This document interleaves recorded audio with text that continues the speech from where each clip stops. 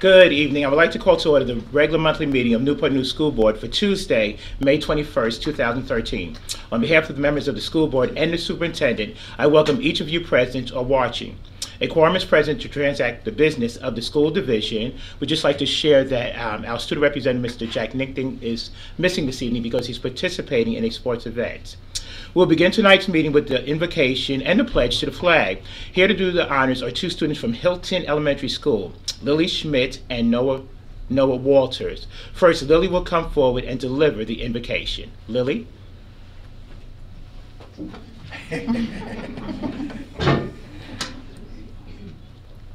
Good evening. Good evening. Um, my name is Ellie Schmidt, and my poem is um, Digging by George Shannon. Dig a little, dig a lot, dig a brand new garden spot. Plant a little, plant a lot, plant the seeds and bulbs you've got. Wait a little, wait a lot, wait much longer than you've th- thought. Pick a little, pick a lot, share the best bouquet you've got. Excellent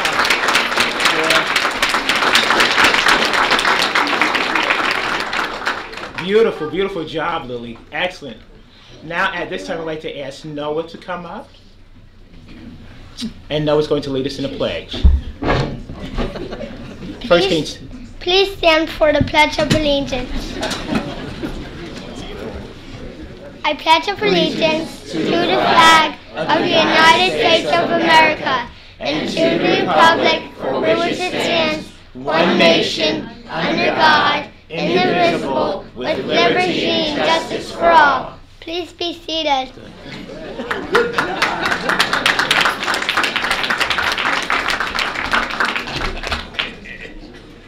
Okay, Noah and Lily, we thank you so very much. You guys did an excellent job. You represented your school in a phenomenal well way. So we thank you. Let's give them another big round of applause. Also with them, we'd like to recognize um, members of their family, if they would stand and be recognized, and also members of Hilton Elementary School. Would you stand and be recognized also?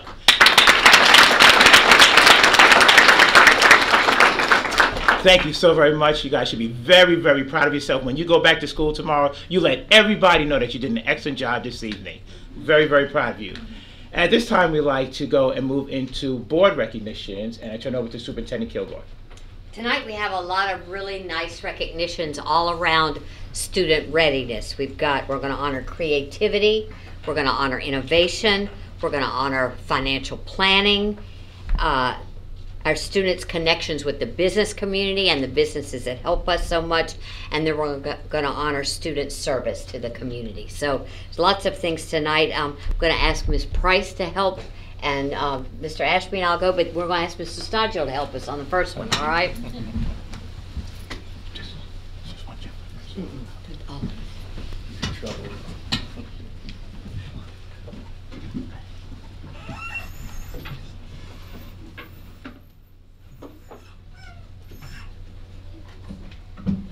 Good evening. On behalf of the school board and the superintendent, I am pleased to present this month's recognitions. For over 40 years, the PTA Reflections program has enhanced quality arts education for students by encouraging them to create works of art in dance choreography, film production, literature, music composition, photography, and visual arts. Hundreds of students in Newport News Public Schools enter our local Reflections contest through their school's PTAs. This year, one Newport News student captured first place in our local contest, then the district, then the state, and now her work has captured a national prize. Alice Stodgill, an eighth grade student at Booker T. Washington Middle School, earned a National Award of Excellence in the middle school division for her film production entry. Alice, would you please come forward?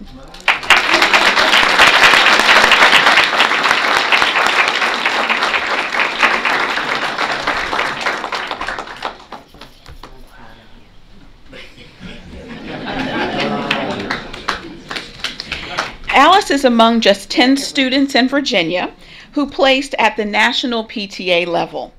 National winners are chosen from more than 500,000 submissions from students across the nation who participated in the contest this year.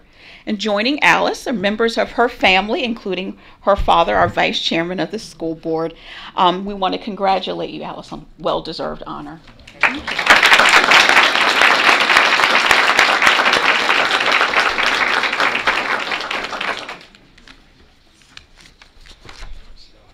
Ensuring that young people are financial literate is crucial to prepare them for financial for future financial success.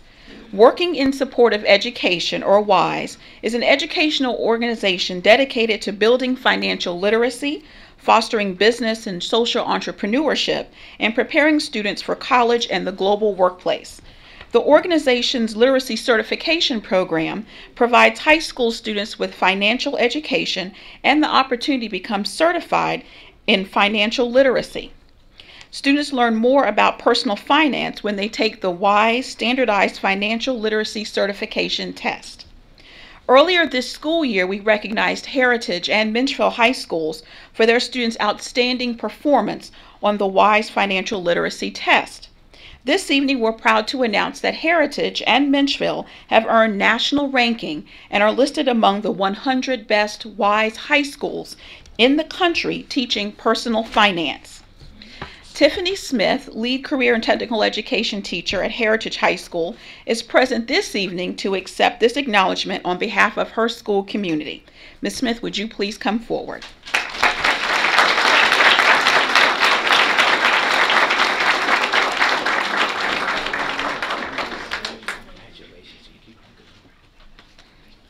This past weekend, Ms. Smith and our other honorees were among those invited to attend a special recognition ceremony at the New York Stock Exchange for the top 100 schools who scored successfully on the WISE industry certification.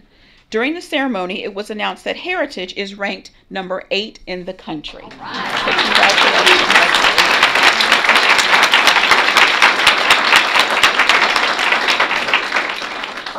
Also named to the top schools list is Menchville High School. Accepting this recognition on behalf of their school community are CTE teacher Cynthia Earle and CTE teacher Constance Ward. Would you please come forward?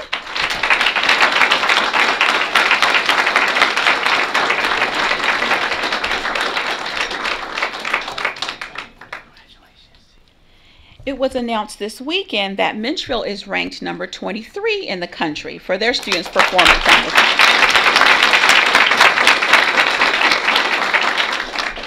And while they were there, they were presented with a banner um, that we want to just show tonight. I'm going to let you unfurl that.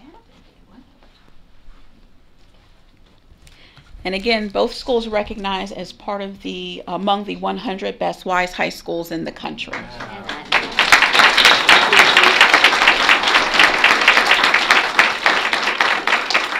So we want to thank these educators for equipping our students with the tools and life skills they need to become college, career, and citizen ready. And again, congratulate them on earning this national honor. Thank you I want to acknowledge uh, the family members that are, are joining these uh, dedicated educators this evening and also CTE uh, Supervisor Dr. Crystal Taylor. Would you please all stand to be recognized?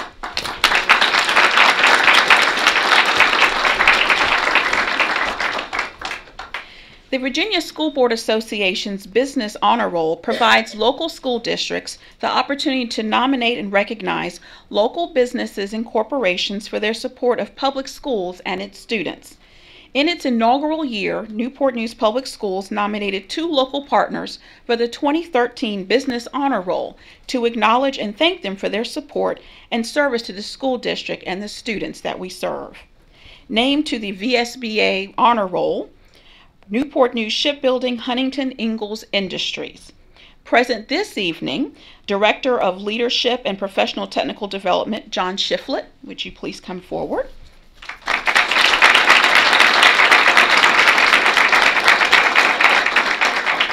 Mr. Shiflett is also a member of the Newport News Education Foundation. And accompanying him are Sherry Thompson, Career Pathways Manager,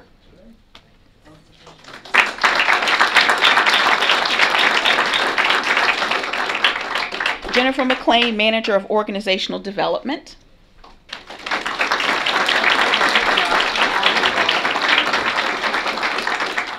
And Kareem Solomon, a member of the Career Pathways team.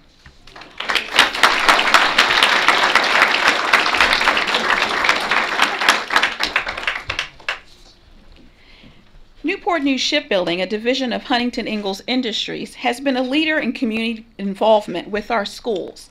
The shipyard has multiple partnerships within our schools and has numerous efforts supporting these schools, including Tattoo, Taking Action to Overcome Obstacles initiative that provides seventh grade students with one on one weekly tutoring, mentoring, and test prep sessions internship and job shadowing programs for high school students that provides opportunities to students to work with professionals in their career pathways of interest.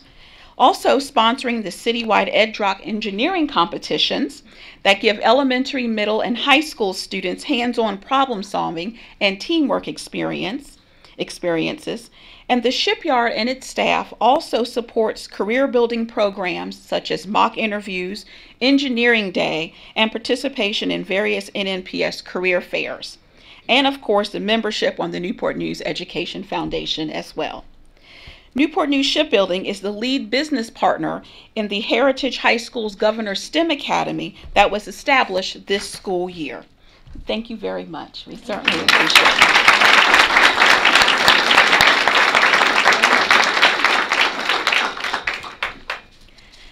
Another important partner is Riverside Health System, Riverside School of Health Careers.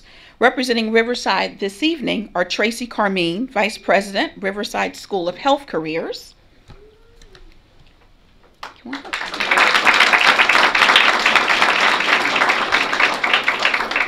Michael Hamilton, Recruitment Coordinator for Riverside School of Health Careers.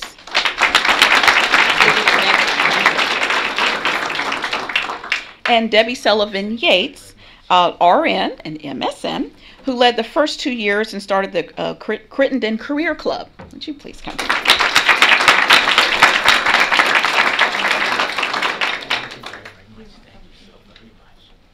The Riverside School of Health Careers and Riverside Health System have been a leader in community involvement with our schools as well, with multiple partnerships over the years including one very important partnership at Crittenden Middle School. Riverside has also provided job shadowing at Riverside Hospital and also membership on the Newport News Education Foundation. The Riverside School of Health Careers and Riverside Health System also established a Health Careers Explorers post, giving middle and high school students ongoing opportunities to explore the field of healthcare in a hospital setting alongside physicians, nurses, technicians, and other health professionals. Riverside School of Health Careers, Riverside uh, Health System, was also the lead business partner in an initiative to establish a health sciences academy at Warwick High School this school year. So again, we congratulate you and thank you for your partnership with Newport News.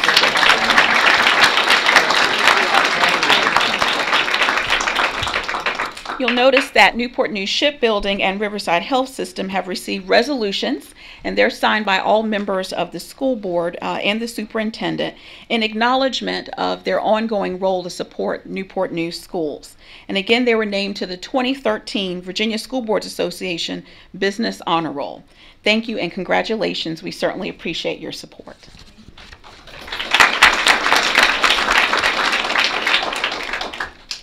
The Excellence in Education Awards competition, sponsored by the Virginia Tech School of Education, recognizes successful and innovative approaches to teaching and learning in Virginia's public schools.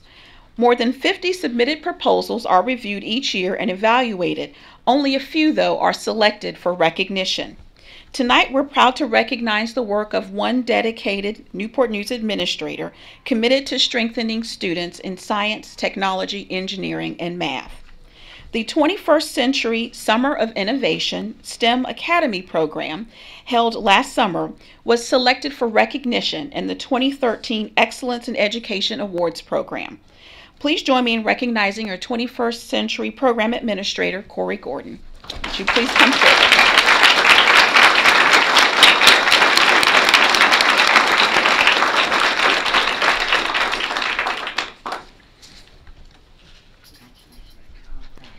Through a 21st century federal grant, Mr. Gordon coordinated and planned this exciting academy. Students in the Summer of Innovation STEM Academy learned about aviation, robotics, and other STEM related activities under the guidance of Newport News teachers and volunteers from Newport News Shipbuilding, NASA, Jefferson Lab, and Lowe's.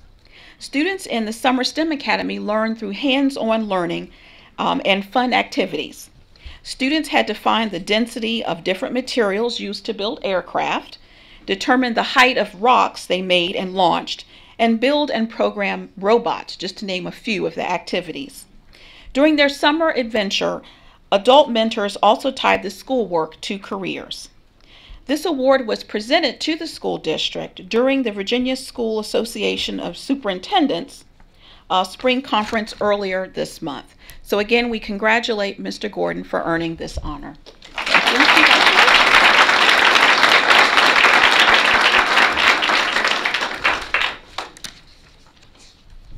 The awards continue. The Department of Education's Career and Technical Education Creating Excellence Awards recognize excellence in exemplary programs and business and industry partnerships. School divisions were asked to nominate successful business and in industry partnerships. Tonight, we're pleased to announce that three local partners earned recognition in this year's awards program. The Aviation Academy has a strong partnership with the NASA Langley Research Center. So, representing NASA this evening is Dr. Roger Hathaway, the head of education. Dr. Hathaway?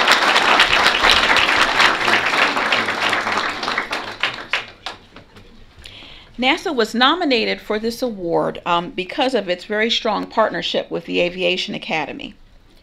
Um, NASA provides internship opportunities for students during the summer and spring break, guest speakers for the aviation program, field trip opportunities, professional development for teachers to enhance STEM learning in classes, and NASA provided the Engineer Your World course for the aviation program.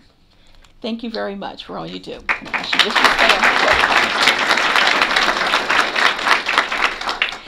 Also named to the CTE Creating Excellence Partnership Awards is the Newport News Williamsburg International Airport. And joining us from the airport this evening is Ken uh, Spirito. This one.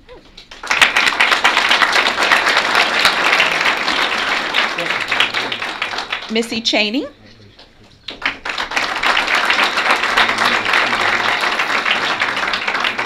Jessica Wharton. She's not here. She's here, okay. And LaDonna Finch, the chair of the board. Would you please come forward?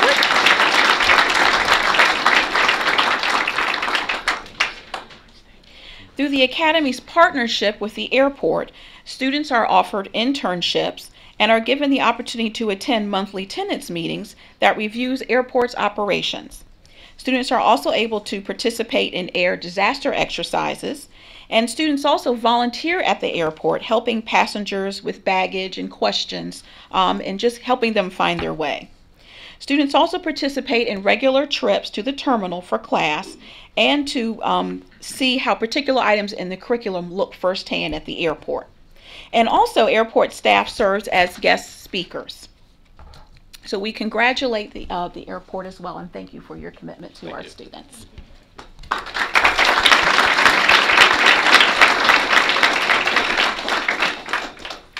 Heritage High School nominated Newport News Shipbuilding for the CTE Creating Excellence Partnership Awards. Would you please come forward again, Mr. Shiflett?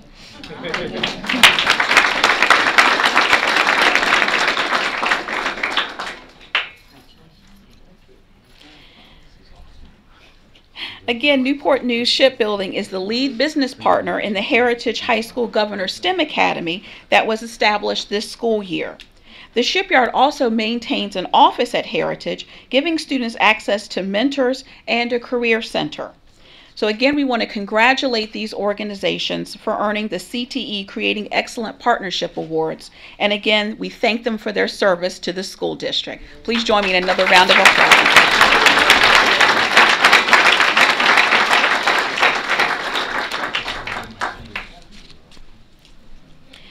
Our next honorees are gifted musicians. They are among the best musicians in the state and have earned the All Virginia distinction. To reach this accomplishment, high school students must audition and earn a top chair or place in a district event, which makes them eligible to audition for an All Virginia Performance Ensemble. Newport News Public Schools is proud to recognize eight students tonight that have earned this All Virginia honor. Students, as I call your name, would you please come forward? Name to the high, s- name to the high school All Virginia Chorus, Layla Dixon from Heritage High School.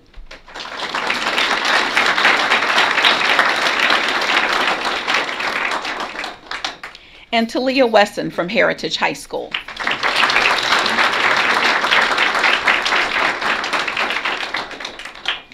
From Warwick High School, Desmond Green.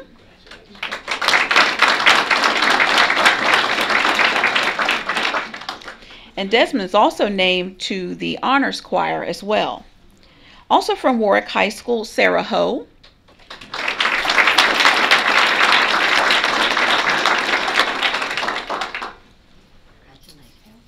And named to the All Virginia Chorus from Woodside High School, Adina Harris.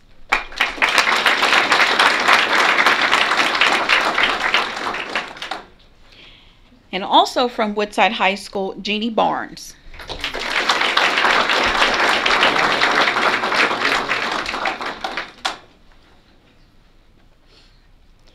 Named to the All Virginia Concert Band, Stephen Pollison from Denby High School.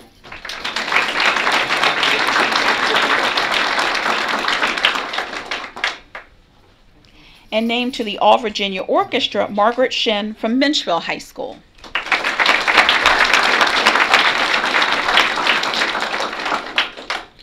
We want to congratulate these uh, gifted musicians for earning the All Virginia distinction this school year.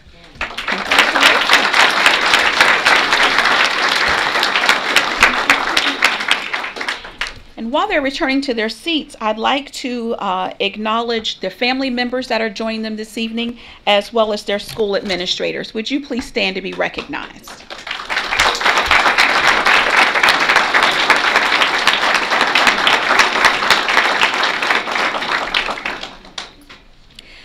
The superintendent has several advisory groups with whom she meets when making decisions concerning the school district and the education of our city's youngest citizens. One such group is comprised of high school students.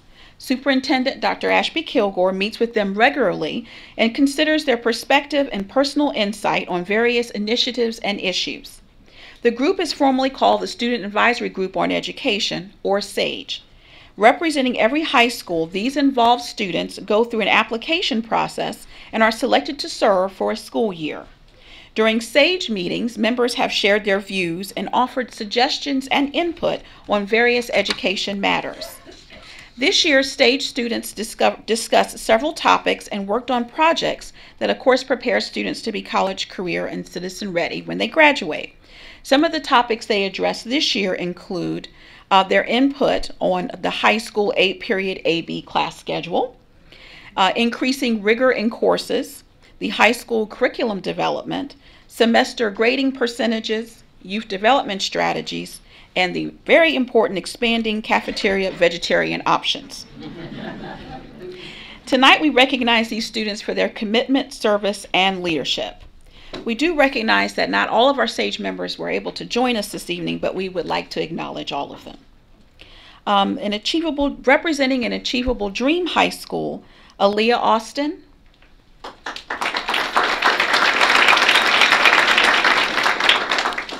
Nautica Vinson.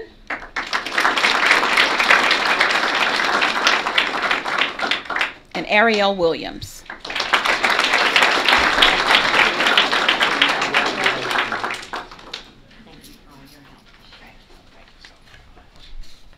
Representing Denby High School, Aaron Stamps.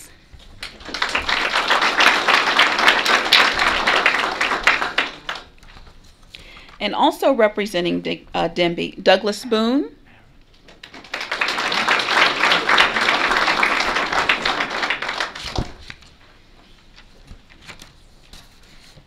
Marcus Destin.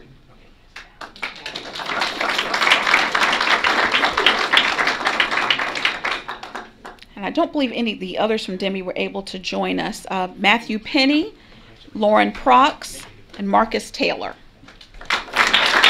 I'm sorry.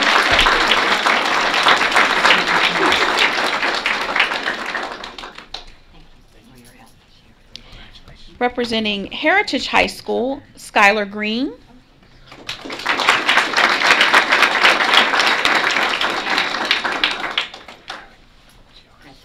And also Kayla Bryant.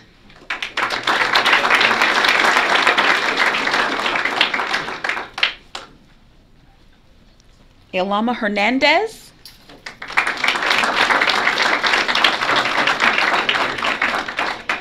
Ingrid Hernandez.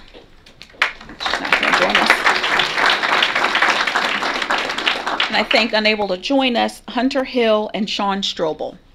Oh, Hunter's here. Hunter? I'm sorry, Hunter Hill.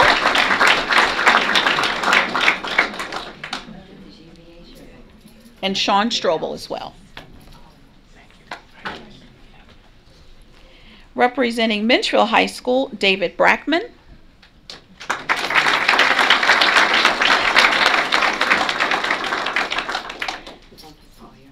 Alexis Burgess.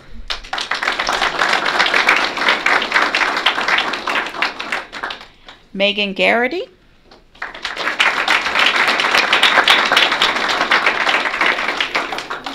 Colin Taylor.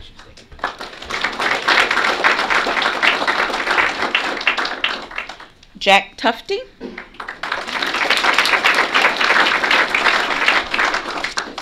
Representing Point Option, Dylan McDonald.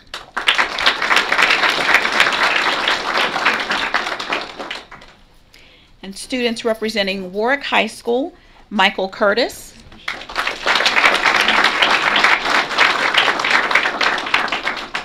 Rhiannon Edwards.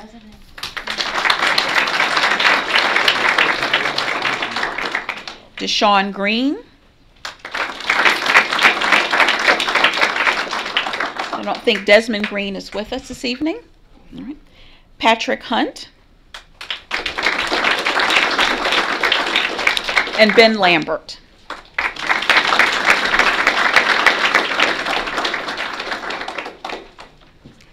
And students serving on stage from Woodside High School include Tamara Francis,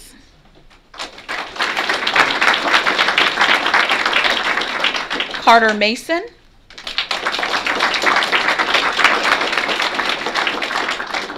Walker Mason,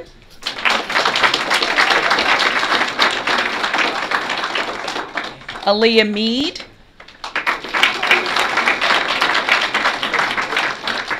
Allegra Mosley,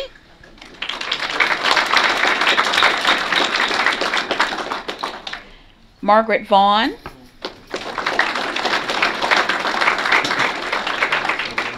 and Simone Williams.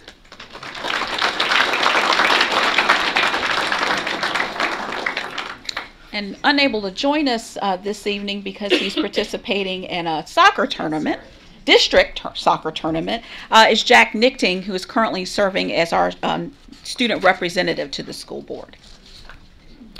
At this time, we want to recognize the family and friends of our SAGE members, and we'd also like to acknowledge their high school administrators that are joining us this evening as well. Would you please stand? And we thank you for loaning the superintendent your students.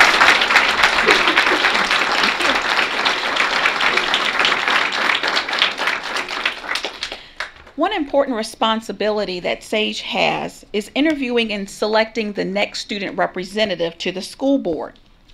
Um, while these students make their way back to the, their seats, I'm going to ask that uh, Ben Lambert just step forward, please. Ben Lambert is the new student representative to the school board selected by the members of SAGE, and he is a sophomore at Warwick High School. And again, he is our student representative that's going to serve next school year. Congratulations.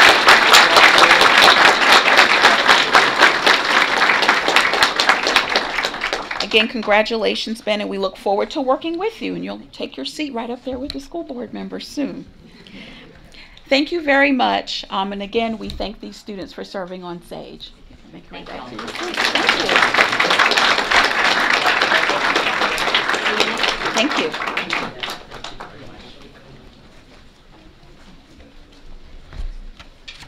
At this time, we're going to take about a 10 minute break. Um, during this time, our viewing audience will be able to enjoy this month's school board spotlight, which features some of our um, which features some of our students. Um, the meeting will resume following this month's school board spotlight segment. So we'll stand and recess about 10 minutes. Thank you.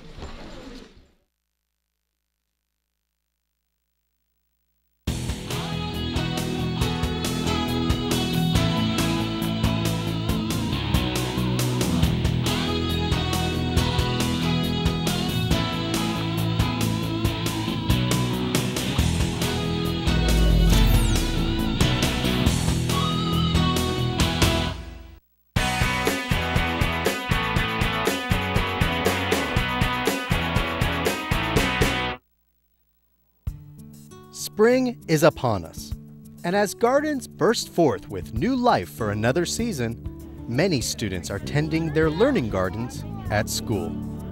And to help these budding green thumbs, Master Gardeners are lending a helping hand. Master Gardeners is an educational, nonprofit service organization that volunteers its time offering sound horticultural information to the community.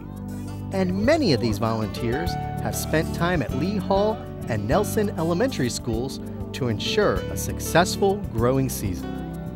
At Lee Hall, Master Gardeners presented the program Watch Me Grow. Kindergarteners learned about seed germination, the parts of a flower, and the plant life cycle. Then they headed outdoors so each student could plant his or her own marigold seeds. The students will tend to these flowers at school and present them as Mother's Day gifts. Lee Hall students also took the time to plant herbs, vegetables, and flowers in their raised garden beds. Master gardeners regularly visit Nelson's native learning garden to keep the beds weeded and plants pruned. And this attention to detail has made the garden inviting to all sorts of new friends, including a killdeer bird that has made its home among the native plants. Master gardeners meet with small groups of students from Nelson's Earth Angels and Garden Club. The volunteers share their wealth of knowledge about the plants and weeds growing in the native garden, the life cycle, and how beneficial insects and wildlife are attracted to the garden. Students then pass this information on to classmates as they explore the growing garden. By offering time, expertise, and a helping hand to our schools, Master gardeners have planted a seed of knowledge in our young students, showing them career options and the joy that gardening offers.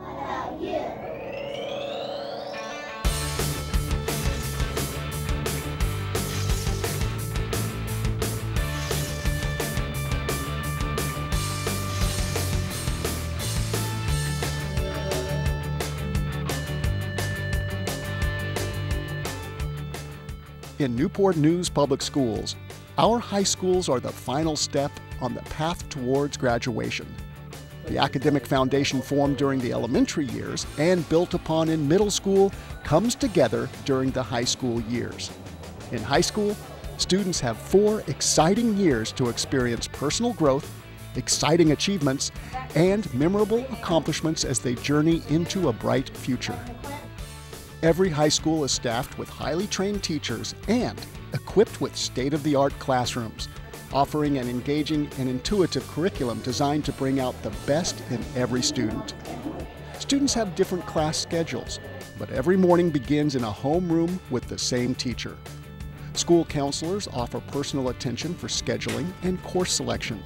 And even though students have a wealth of options to choose from, high school isn't all about book smarts. Students are encouraged to grow as individuals, learn to make their own decisions, and experience how they can give back to their community. In Newport News Public Schools, our nationally ranked high schools are preparing students to be college, career, and citizen ready. High school is not the last academic stop for many of our students. So, preparing now for acceptance into an institution of higher education is paramount. From a freshman's first semester to a senior's final test, every grade counts. College may seem a long way off for many underclassmen, but every semester affects the final grade point average. A high GPA means more opportunities after high school. Performing well in honors and advanced placement courses can help boost a student's GPA while preparing him or her for the high expectations of college. Advanced placement and dual enrollment courses offered through career and technical education allow students to begin earning college credits while still in high school. And for students who complete the requirements for an advanced studies diploma during their senior year, the Early College program offers full enrollment into Thomas Nelson Community College a semester early and at a reduced cost. But college isn't for everyone, and some college bound students are hoping to prepare for their future careers now. Newport News Public Schools offers an amazing array of career readiness options to high school students. School counselors and teachers steer students onto personalized paths through precise course selections, hands on training, and internships. Career pathways are found in every school and consist of interrelated courses as well as curricular, extracurricular, and service learning experiences. Through these options, students will be equipped with the skills and a clear understanding of the pathway to success for their chosen career. Many of our high schools allow students to focus on specific skills and content areas. These magnet programs can help prepare students in areas such as the arts, aviation, communication, and STEM related fields. Newport News students can also attend courses at the New Horizons Regional Education Centers to receive hands on training in a variety of career and technical fields. And to help keep track of all their accomplishments, students record their experiences and training in electronic portfolios. This digital resume allows students to document their own career readiness during and beyond their high school years. Woven into every high school experience is the opportunity to grow as productive citizens in an ever changing global society. Citizenship traits are exemplified by our quality teaching staff, and students learn how to contribute to their community as young adults. Every high school student is encouraged to grow and succeed through involvement in clubs, activities, and sports. And since many extracurricular activities occur after school, Newport News provides free transportation twice a week for activities and for many sporting events. With a number of clubs and activities available, each student can find an organization that fits. By joining a club or activity, students develop new skills, meet new people, and expand their interests. And with motivated members, many clubs donate time, resources, and offer a helping hand to our local community. And youth development coordinators at each school mobilize teams of students to be a positive force inside their school and help them reach beyond the classroom walls to make an impact in the surrounding community. Organized by the Virginia High School League, sports promote teamwork, athletic excellence, and discipline. Athletics happen year round in Newport News high schools, from summer conditioning to a myriad of junior varsity and varsity sports in the fall, winter, and spring elite competition through regular season games and tournaments can prepare athletes to compete at the next level, too. Every school is staffed with an athletic director to help guide individuals and teams to success. And with qualified coaches and training staff, student athletes find the support needed to succeed on and off the field. In Newport News Public Schools, it's our goal that high school will be one of the most memorable experiences of our students' lives. The options and opportunities provided in each high school are geared toward helping every single student succeed academically and socially. Success stories aren't just handed out, they're earned. And high school students in Newport News are writing their own chapter every day as they become college, career, and citizen ready.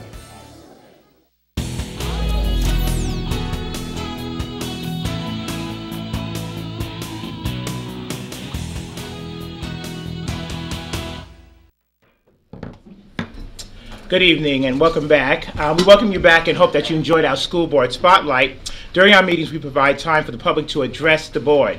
These are scheduled at the early part of the agenda and also toward the end of the meeting. The board considers this an opportunity to listen to your comments. Please understand that we consider your concerns or get back with you at a later time. Please comply with our three-minute um, time li- limit. As you begin your comments, a green light will come on, a yellow light signals that you have 30 seconds remaining, and a red light and beep indicates that your time is up. We thank you so very much for adhering to the line, these guidelines, and we do have two cards. The first card, we're going to ask Mr. Rick Jones to come. Thank you. Oh, Dr. Kilgore, ladies and gentlemen of the school board, thank you for uh, having us tonight. Uh, uh, Oftentimes when I come in and talk to you, uh, I'm told by some of you actually, why don't you ever have anything good to say? You know? And most of the time, my response is that I only have three minutes uh, to get across what I need to get across to you or what I feel led to get across to you. And tonight, I want to say that it's it's it's easy to see a lot of good things going on in Newport News. Okay, if you're here at this auditorium tonight, you saw lots and lots of programs that are going on in Newport News that are award-winning, that are getting uh, notice by um, uh, noticed by other people, and that's a great thing. But don't, okay, and I'm gonna caution you, don't allow the many, many good things that are going on to hide from your eyes the problems that we do have. I mean, one of the questions I would ask you in all the programs that were celebrated tonight, and all the children that were celebrated, first of all, you need to ask yourself how many children were involved in those programs? Secondly, how many children in the bottom half of our graduating classes or the, the, the academic classes are in those programs? And how many of our 5,000 students that didn't pass the SOL reading uh, test last year are in those programs? You know, why aren't we celebrating a program that, you know, where our, our students are doing so much better at the bottom half of our schedule, uh, of our, of our academic agendas? And, and why aren't we celebrating something about huge growth in the problems with readings? Those are the things that I would ask yourselves, celebrate the good things, but also keep in mind the difficult th- the, the things that we have issues with. But the real reason I came tonight was to thank you as a board, as a whole, and Dr. Kilgore for reinstating the health care benefits for the retirees that was originally taken out of the budget last year because of money issues. I want to thank you. Um, I would like to be able to say thank you each and each individual because uh, that you did it because as a board you guys work together as a board. But I know some of you didn't support you know the reinstatement of it. You let it happen, and I appreciate that. And Dr. Kilgore let it happen or had it made it happen, and I appreciate that. But only two of you responded to me and let me know that that you thought it was it was something that you supported the reinstatement and that you couldn't support the budget without that reinstatement in it. And those two are Mrs. Burnett and Mr. Scott. And I thank both of you guys for standing up and doing what we, the, re- the retirees, said was to do the right thing. Um, and one of the thing, two things I would ask for you to do is don't start, don't wait until the budget time next year to try to deal with that issue of retiree benefits. You know, let's do something about it now. Um, as a, during that process, a lot of retirees came out and they gave you suggestions. I wrote you epistles, pages and pages of things that you sh- needed to look at that you could do instead of uh, instead of taking away retiree benefits. I suggest and ask that you look at that now. Okay, and that one of the things that I would ask that you do, and I'm going to be gone in a half a second, is that I, you said that there was a problem uh, and it could be satisfied if everybody would take advantage of the VRS healthcare credit. Well, let's put that burden on the school system to help the retirees figure out how to make that happen. I volunteered my service and service to some other people to help you work with that. And I haven't heard of anything, and I haven't heard of any teachers or retirees that have been contacted to help them with the VRS healthcare credit and make sure they're getting all that they can, which would reduce the amount of money that the school system has to put out. And I still volunteer that and other people to help you with that if you would. So expect that from the HR people. That's something that they can do to keep this from happening again. Thank you. Okay, thank you, Mr. Jones. Second card is Miss Betty Dixon. Good evening, members of the board, Dr. Kilgore, Mr. Ashby. Good evening.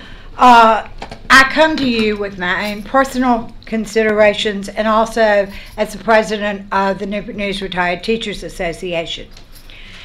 As you know, I have repeatedly expressed my desire to see NNPS hire an assistant superintendent for instruction curriculum. I have also stated numerous times, excuse me, that I feel NNPS should attempt to find someone from outside of the system who has demonstrated a strong background in instruction with a proven record of strong results in improving the instruction. Someone who has new ideas who will take us to a new level. NNPS needs new ideas and they need new leadership. Now, I have been told that the Executive Director for Elementary Education is being considered for this position uh, of Assistant Superintendent. I have not verified this, but I would like to address the possibility. First, let me say that as far as I'm concerned, the executive director of elementary education is an extremely nice person and a very hard worker. However, I do believe that this appointment would be a grave mistake. This gentleman's experience is limited to what is presently being done in NNPS, and he would bring no new ideas to the table. In addition, his experience is limited to elementary education, and this area greatly differs from secondary ed. And finally, under this person's watch, eight NNPS elementary schools, one third of our elementary schools, are not accredited this year. I do know that the tests were harder. That has been the excuse. But remember, even though it was a new math test last year, you use a three year um, a summary of the grades. So obviously, these eight schools were not doing that well the two years before. Um, now, is this the kind of expertise that is needed in the area of instruction? I think not. NNPS deserves strong leadership in instruction. Our students and teachers deserve such leadership. Please, please consider your options and vote for what would best serve our Newport News schools. Please don't just vote to please the superintendent, but vote what you know is best for our children. Thank you. Thank you, Ms. Dixon. Any other, any other cards, Ms. Hinton? No. Okay, this time we move into item three, consent agenda. Consent agenda includes the following. uh, Minutes from the regular session for um, April 10, 2013. Financial reports, the re- review- revenue report, sorry, expense report and child nutrition report for also for April 13. In addition to that, personnel report and acknowledgements. Also, the VRS resolution establishing member contributions and also resolution approving the proposal and administration of the point option lease. I'd like to ask for a motion for the consent agenda to be approved. Move for adoption. Second. Questions? Mr. Finneran, please poll the board. Ms. Johnston, Four. Mr. Scott, Four. Ms. Simon, Four. Mr. Stodger, Four. Mr. Ashby, Four. Ms. Burnett, Four. and Mr. Hicks. Four. Motion carries seven zero. Thank you, Mr. Finneran. At this time, we'd like to recognize our reti- retirements as they appear in our personnel report. And we have several that we'd like to include this, this evening. Catherine Doyle, a bus driver, transportation for 13 years and 11 months. Annette Jones, bus assistant, transportation for 14 years. Mitchie Powell, teacher at Hilton Elementary School, 30 years and 6 months. Elizabeth Stacy, a teacher at Crittenden Middle School, 14 years and 7 months. And finally, Susan Sababwa, instructional assistant at Dozier Middle School for 11 years and 8 months. We thank these individuals for their commitment and helping our children in the Newport News Public School system. At this time, I'm going to move into item number four, which are our action items. Our first one, 4.01 of personnel actions. I turn it now over to Superintendent Kilgore. Alrighty, um, we do have some personnel uh, actions tonight. First, I would like to announce the following transfers for the coming school year. Um, Christine Pilger to uh, Magruder Primary, Lori Dildy uh, to Denbigh Early Childhood, Vanessa Keller to Marshall Early Childhood, Mark Kirk to Yates Elementary School, Cheryl Andrews as assistant principal at Yates Elementary School, Maggie Haley, assistant principal at Nelson Elementary School, and Ann Shoemaker, the assistant principal at Palmer Elementary School.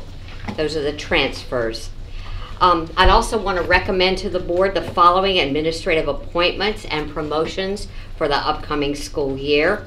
Uh, I want to first begin with Brian Nichols. I recommend Brian for the position of Chief Academic Officer. Uh, Brian is a um, graduated from the College of William and Mary uh, with his bachelor's degree and his master's degree. He um, has been a teacher in Newport News since 2001 and an assistant principal and a principal and currently serves as the executive director of school leadership. So recommend Brian for the position of chief academic officer. Um, next, I'd like to recommend uh, Glenda Walter for the position of principal at Lee Hall Elementary School. Um, Glenda has a bachelor's degree from James Madison University and a master's degree from the College of William and Mary. She's been a part of Newport News Public Schools since um, 2000 as a special education teacher, as an assistant principal, and currently as an instructional supervisor uh, in our special ed department. So Glenda Walter for the position of Lee Hall Elementary Principal. Uh, next, I'd like to recommend Ethel Francis for the position of principal at McIntosh Elementary School. Um, Ethel has been a principal and has been a, a teacher in Newport News since 1994. She um, started as a teacher at Newsome Park. She's been a Title I interventionist and then an assistant principal for us. I'd like to recommend her for the principal at McIntosh Elementary School. And next, I'd like to recommend um, Annette Walls for the principal at Riverside Elementary School. Annette has been with Newport News Public Schools since 1999. She's been a teacher um, since 1990 all over the world, I guess, in the Department of Defense schools. She um, has uh, been a teacher with us, is currently an assistant principal, and I'd like to recommend Annette for the principal at Riverside Elementary School. Uh, next, I'd like to uh, rec- uh, recommend Shannon Pipkin for uh, an assistant principal position. Um, Shannon uh, has a master's degree from um, Virginia Tech, a bachelor's from Bowling Green, and she um, came to Newport News to work in 1995 as a special ed teacher, as a technology curriculum integration specialist, and now as an instructional specialist. So Shannon for the princ- uh, assistant principal position. Next, I'd like to recommend Anthony Perry for the position of assistant principal at Sedgefield Elementary School. Um, Anthony has been a part of Newport News since 1994 at the Achievable Dream Academy. He's um, a graduate from Old Benedict College and Old Dominion University.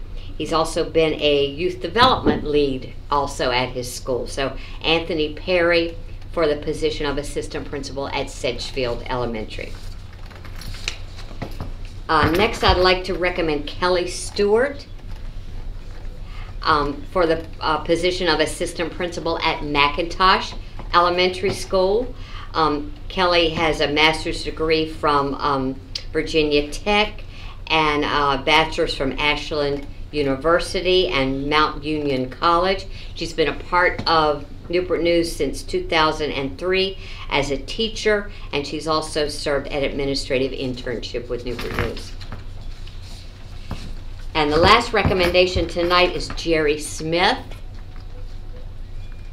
I want to recommend um, Jerry for the position of assistant principal at Hidenwood Elementary. Uh, Ms. Smith has been a um, she has an uh, uh, administration degree from Old Dominion University and her bachelor and master's from Hampton University. She um, is a has been a special education teacher and a special education lead teacher, and has been part of Newport News Public Schools since 2003.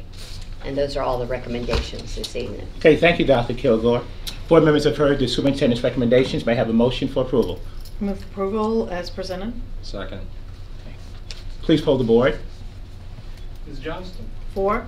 Mr. Scott? Four. Ms. Simonds? Four. Mr. Stajia? Four. Mr. Ashby? Four. Ms. Burnett? Four. And Mr. Hicks? Four. Motion carries seven zero. Okay, thank you, Mr. Finneran. So you have a comment? Yes, ma'am. I, I would like to say, anytime that we appoint any principals, any assistant principals, it is a serious thing. Because we have an expectation as a board for you to do your best to move our schools to the next level. And so we take it very seriously. We, we visit the schools, we have expectations. So as we vote yay in a, in a short period of time, I want you to understand that this is very serious. You will mold the lives and the atmosphere and, and, and environment of that school. So you are a critical piece of our puzzle. And so as we vote for you and we put you in these positions, our expectations get higher and higher each year. So please continue. Dr. Kilgore has put confidence in you before us to take that, that lead and that role. So that expectation will remain there. And I can tell you, as long as I'm on the board, I will be visiting as often as possible. Surprisingly, I don't announce. Thank you. Okay. Thank you, Ms. Burnett. We now move into our second item Uh, on, Mr. Chairman, I'm sorry. I'd like to congratulate all the appointees, and I think that we should do what we normally do. give them a-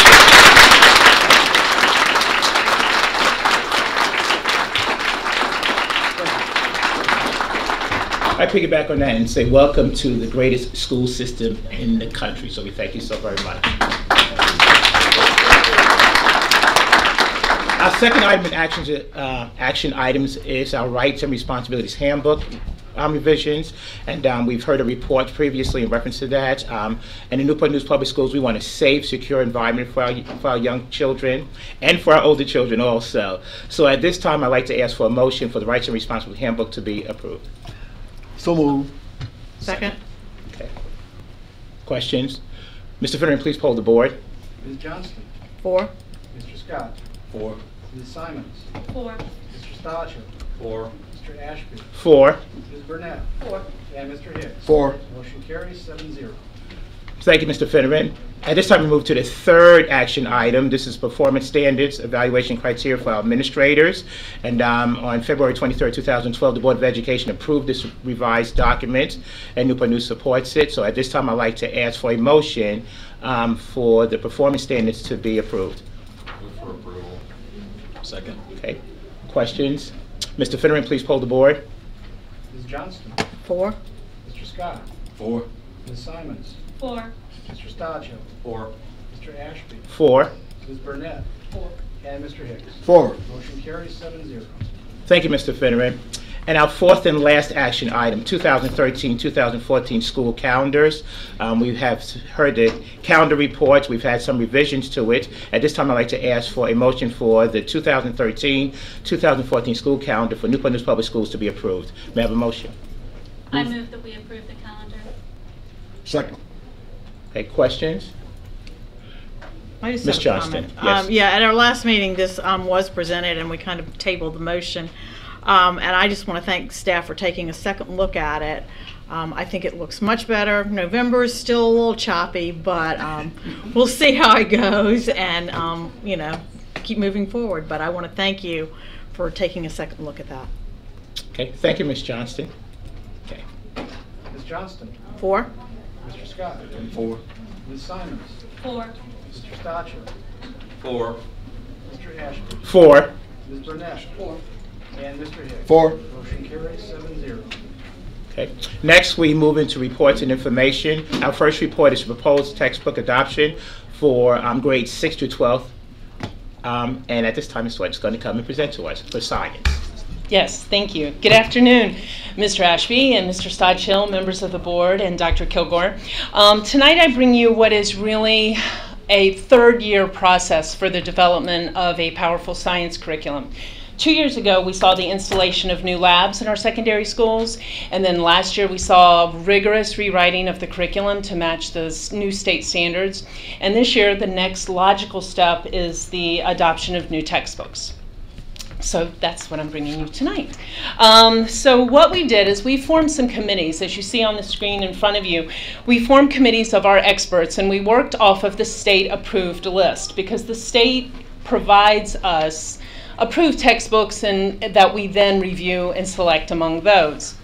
So in these committees for our 6 through 8, we had 19 teachers represented in these three different committees, as well as administrators. We also had 30 high school teachers in their content-specific committees, as well as administrators. We also had open review at each of the schools where the textbooks were available for people who couldn't serve on the committee, other administrators, families, um, as well as students who could leave and pick up an evaluation form and leave their thoughts with us. But this is the core of what moved us forward. And um, under the direction of Dewey Ray, our instructional supervisor for science, that work began in November and um, just concluded very recently. Um, along with that, our first question is always Are these books going to move forward what we need? And that is a strict alignment to the standards by the state, but also materials that will help us with our college, career, and citizen ready skills. We know that is the driving force in our curriculum, that is the driving force in the goal and the instructional design that we create in our science departments, our, in our science classrooms. So we test it to make sure that it is aligned both to the state standards, but as well to the college, career, and citizen ready skills that you see on the screen before you.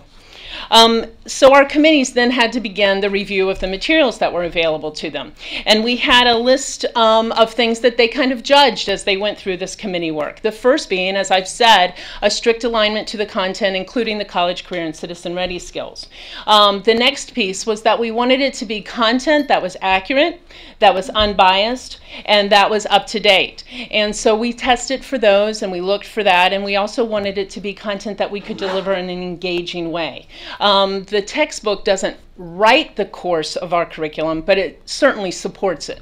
So those were two points. And our third point in the evaluation and selection process is that we wanted to make sure that our teachers were being given opportunities to reteach, to intervene in learning, to embed technology, and to have hands on experiences in science, to put to use those labs that we brought into our schools two years ago, and to put to use that rigorous curriculum that we've been developing in a two year process. So, those were the three main components of our evaluation and selection of the textbooks. So this is what the committees are recommending for us. In sixth grade and in seventh and even in eighth grade, you see that we went with Virginia specific books, all published by Pearson. Um, so those are the selections for middle school.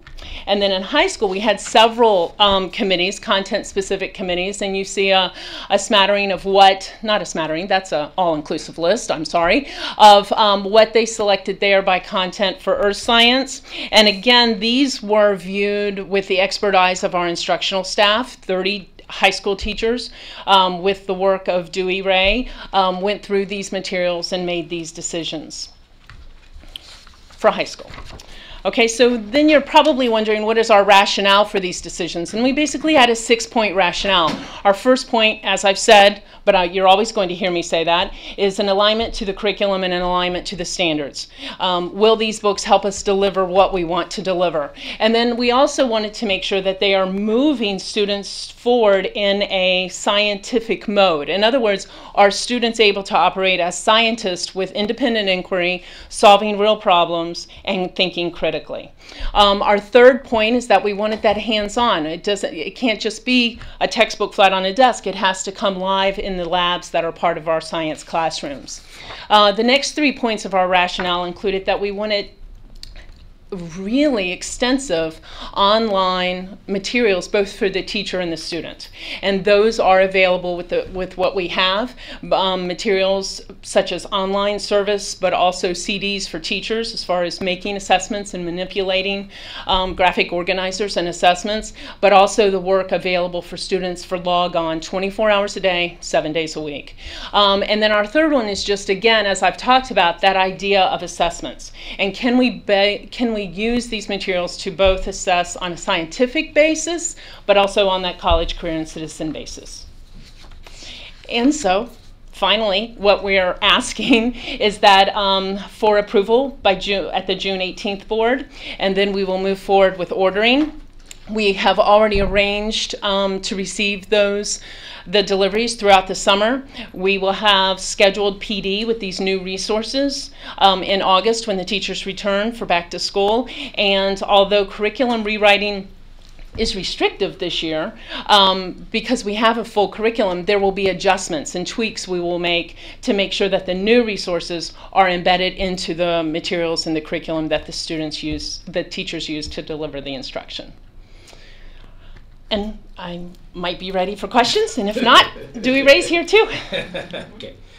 Thank you so very much, Ms. Wade. Board members, Ms. Johnston. Um, because we have a separate textbook um, fund, and this is the only set of te- textbooks that we'll be ordering this year, and to ensure that students and teachers receive these books in time to plan and have them ready for the opening of school, I would like to move that we move this to an action item tonight. So, second. That's very good. Pl- Any questions? Please poll the board. Ms. Johnston? Four? Mr. Scott? Four. Ms. Simonds? Four. Mr. Stodge? Four. Mr. Ashby? Four. Ms. Burnett? Four. And Mr. Hicks? Four. Motion carries seven zero. Thank Mr. you. Chairman, I, I move to approve the proposed textbook adoption tonight. Okay. Second. Okay. Questions? Okay, Mr. Finneran, please poll the board. Ms. Johnston? Four? Mr. Scott? Four. Ms. Simonds? Four. Mr. Stodge? Four. Mr. Ashby? Four. Ms. Burnett? And Mr. Hicks? Four. Motion carries seven zero. Thank you so very much. Thank you for your uh, presentation. Thank you, We appreciate it very much. Our next report is going to be delivered by Mr. Brian Nichols and Chief. Not yet. Oh, okay. um, Executive Director of Curriculum and Development.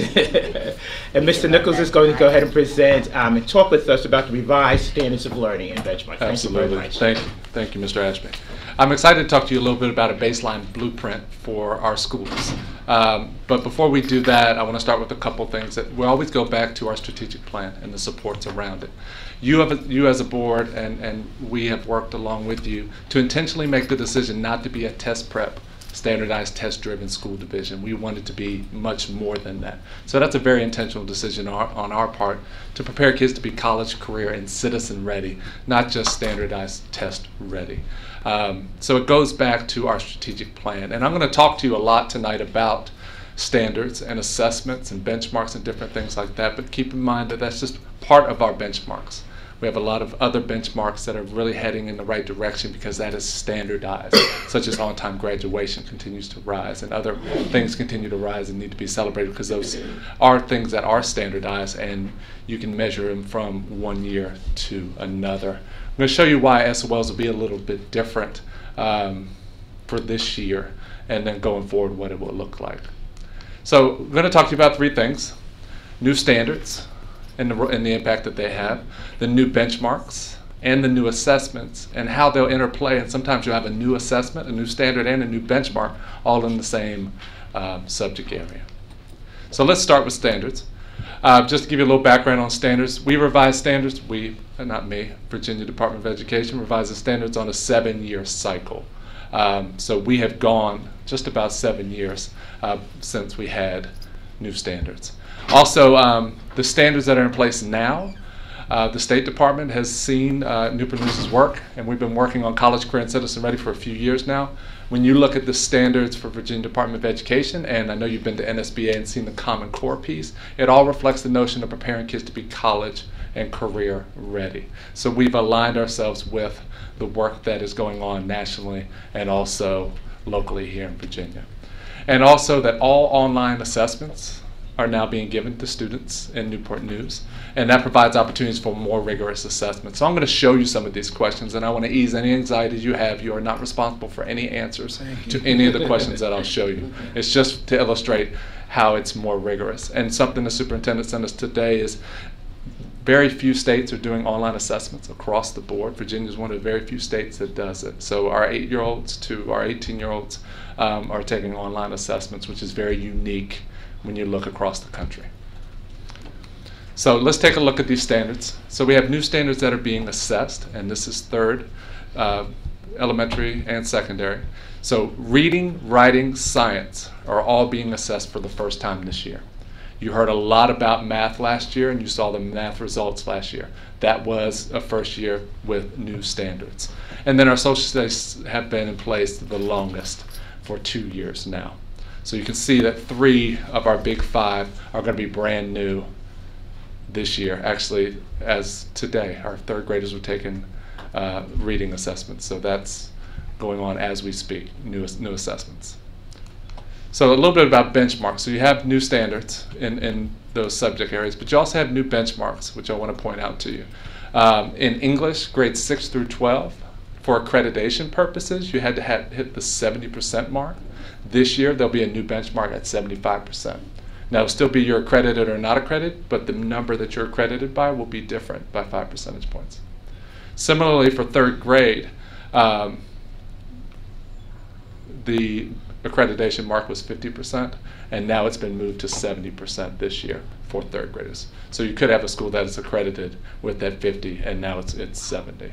So you have new standards and new benchmarks. But the biggest piece of the puzzle that's going to come into play are these new assessments. So I want to talk to you about those a little bit. Um, technology enhanced items, approximately 15% of each assessment is made up of technology enhanced items. And the interesting thing about these is typically when you sit down and take a standardized test, you have four choices. Well, that's a 25% chance of getting the answer right, even if you have no idea what the content is. I can take a chemistry test, I have 25% chance on every question. It doesn't work that way with the technology enhanced because it's non-multiple choice. And there are multiple right answers. And the interesting thing is there could be three correct answers. If you get two of them, you get the whole entire thing wrong. You don't get two-thirds credit for it. Um, if there are four correct answers and you get three of them, you, you get zero credit for it. That's the way the system is currently set up. There's also short responses where there are no choices at all and you are to construct a choice. And there are also interactive graphing items, and then we have samples of each of those to show you. So let's take a look at a couple of them. You're not responsible for any answers, don't, you don't even have to worry about it. This is what's called a hotspot question. And what a kid has to do is they have to click on the box to choose each function that they want to select. Now it says identify each function that has exactly one zero. There's more than one right answer here. At no point will the computer tell you you've, you've answered too many or not enough or anything in between. So if there are two correct functions, you need to click on the two correct functions. It won't tell you stop, you've answered too many or anything. So that's a hotspot question. So they see those across all content areas. You have a math one in front of you. Uh, next one is called a drag and drop. Now, our kids have no issues with the actual technology piece. They can drag and drop anything you want them to do. So it's not that piece that they have difficulty with. It's the fact when you look at this ratio question, um, there are almost an infinite number of possibilities you can put in those boxes. Um, so you can see where they would have had four choices of ratios. Now they have an unlimited supply of choices. The third one is, is sort of your traditional fill in the blank. Um, it's where a kid reads a problem and then they actually have to put in the answer. So you can put in any kind of answer you want to put in there. Um, once again, very different from what our kids have been assessed on the year before. And the last type of technology items is this graphing piece. We all know and love stem and leaf plots. Um, so we have a stem and leaf plot on the left side, and they actually have to drag and drop these uh, graphing lines to match that stem and leaf plot. So, you know, how many 12s and how many 13s and 16s and so forth that they have to do there.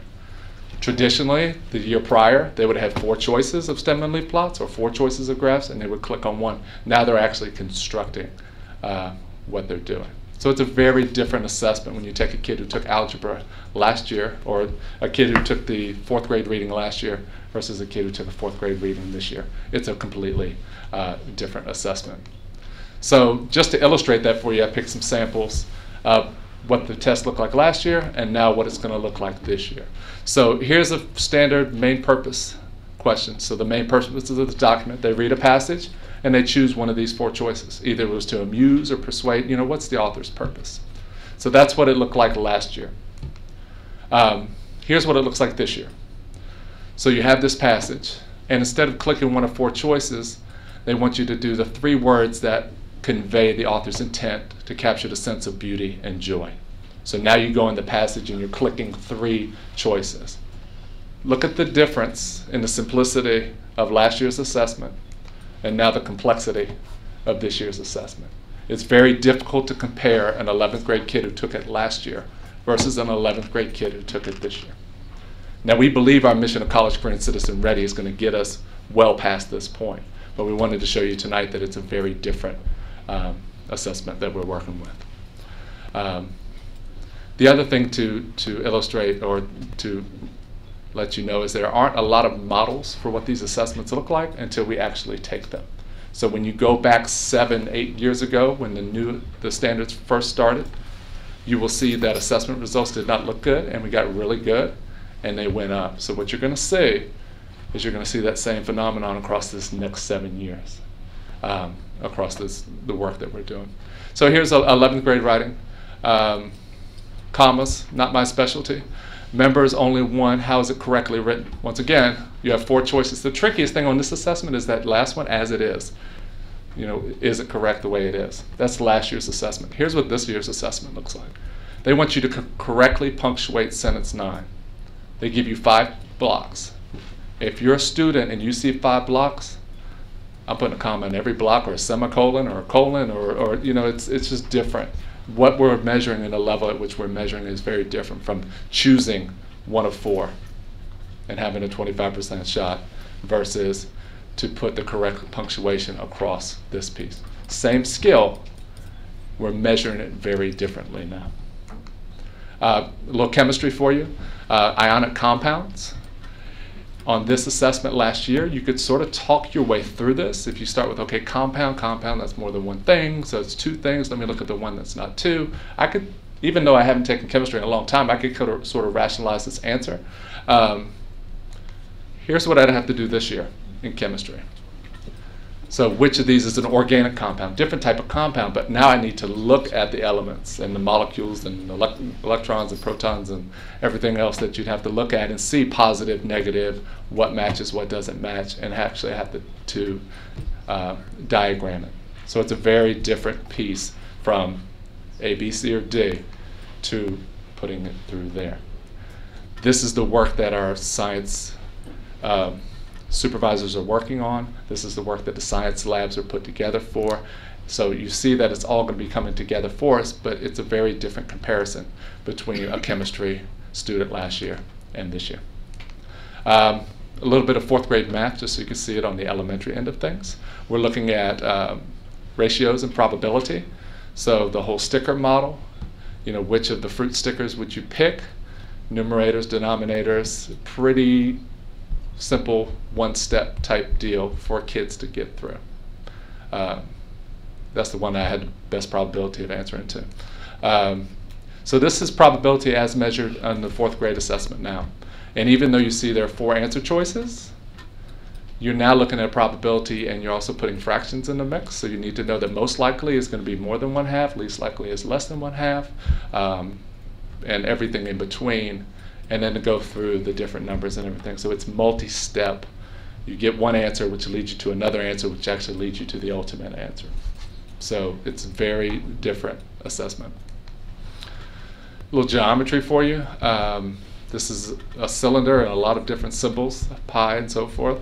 Um, so you have a diameter of 10 inches, height of 4 times its radius. This was last year's assessment that a geometry student would do.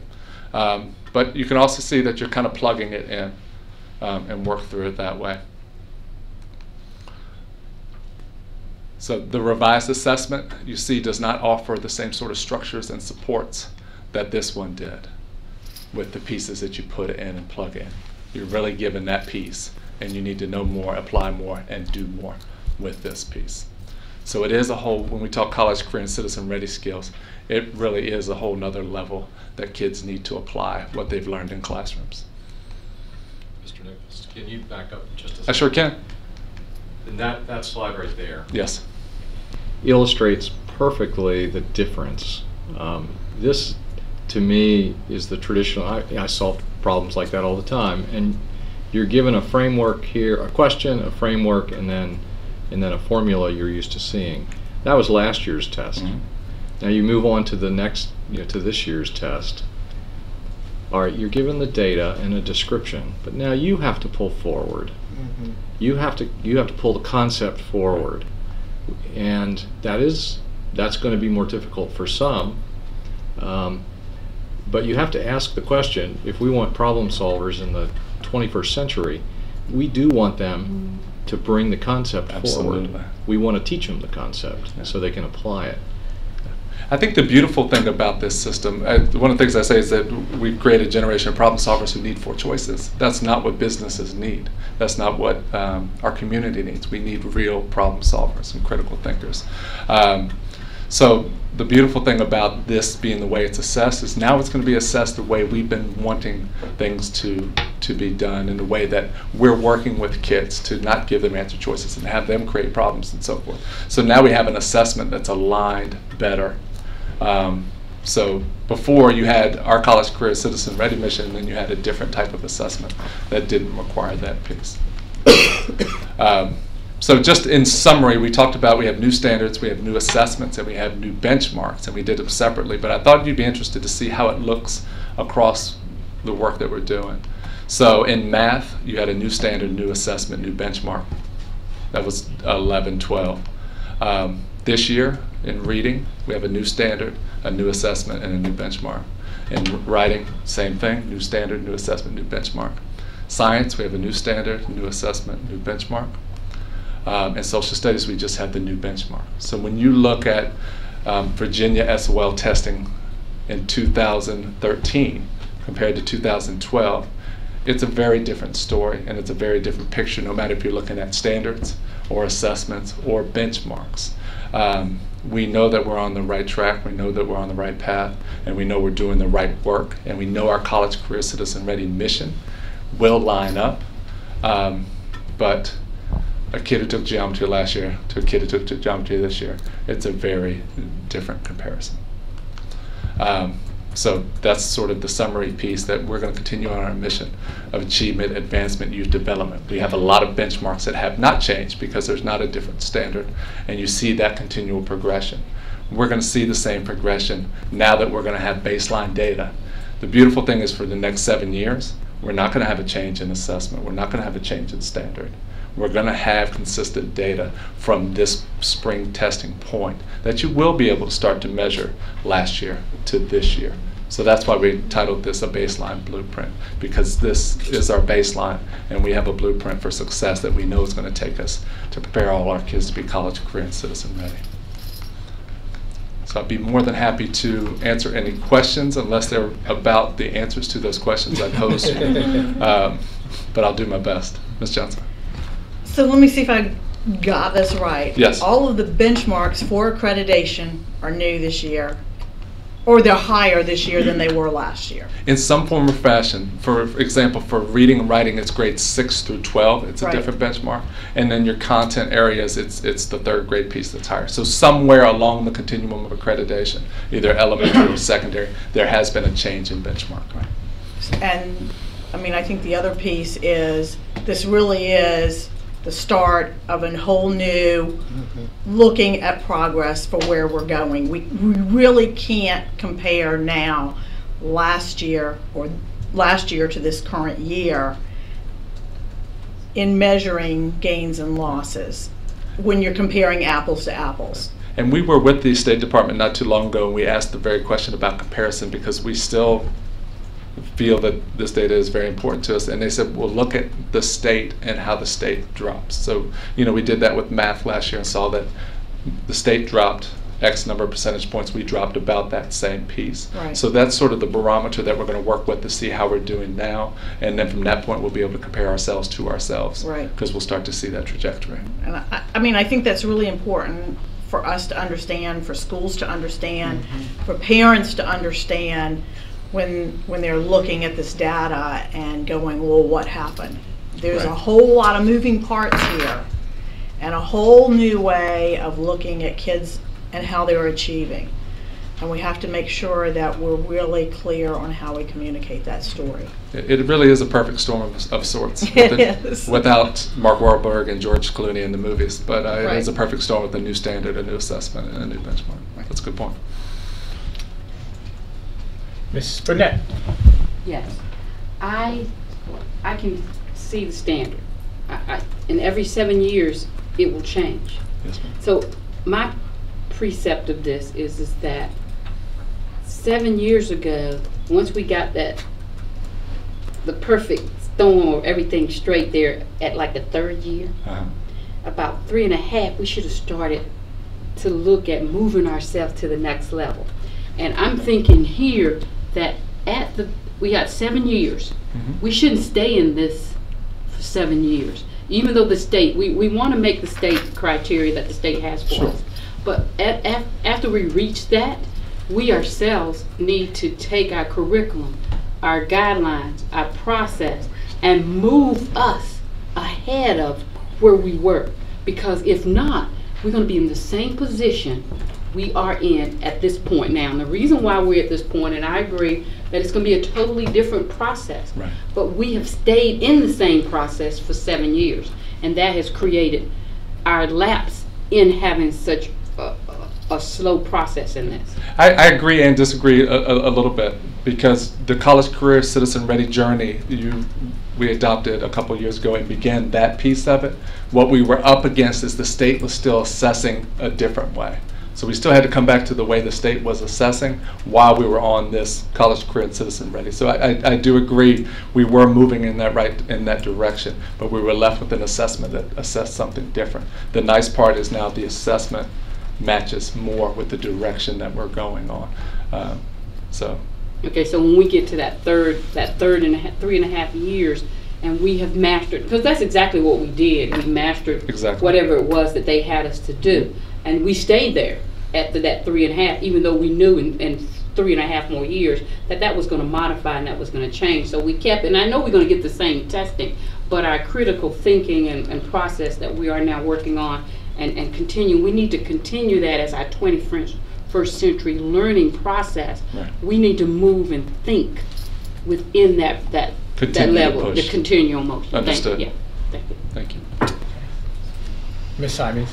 Um, so what do you think the new assessments and the new benchmark mean for our English as a second language students and some of our special education Well, I think that's an important um, question, Ms. Simonds, because there is no different, there's no differentiation in benchmarks, uh, and there is no differentiation in, in pass.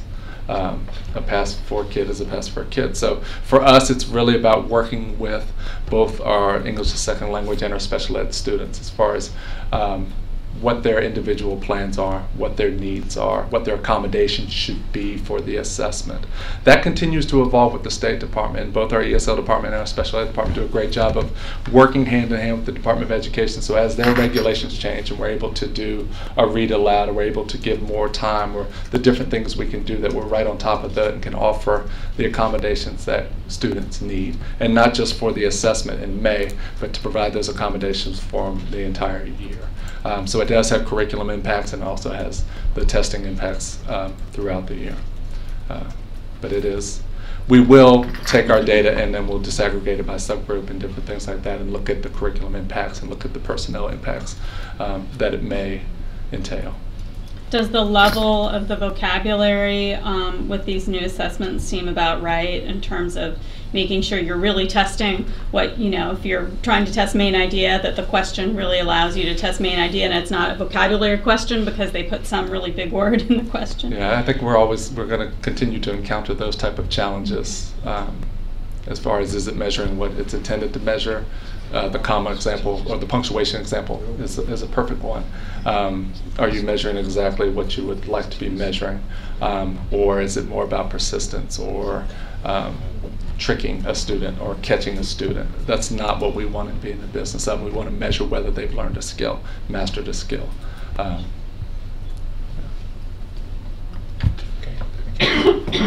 Mr. Scott?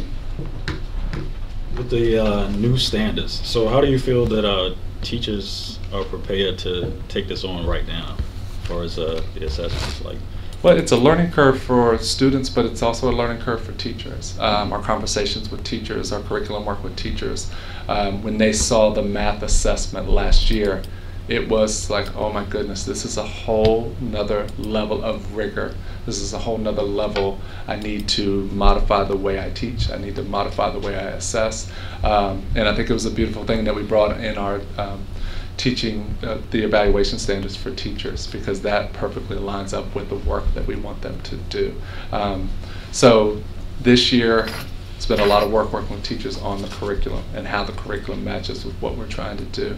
Um, next year will be that same work, year two. So they're not going to have a different um, professional development expectation, a different curriculum.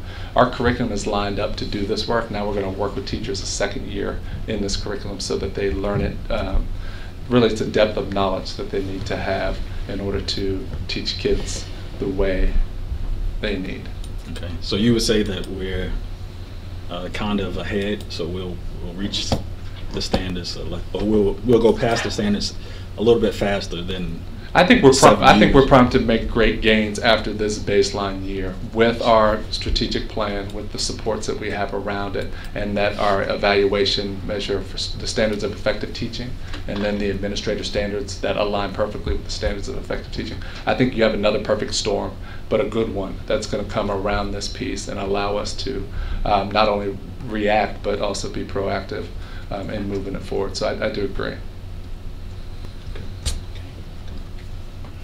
Okay, thank you, sir. We appreciate your, your reports and know that we're going to strive and, and do great things in Newport News. So thank you so very, Absolutely. very much. We appreciate it. Thank you.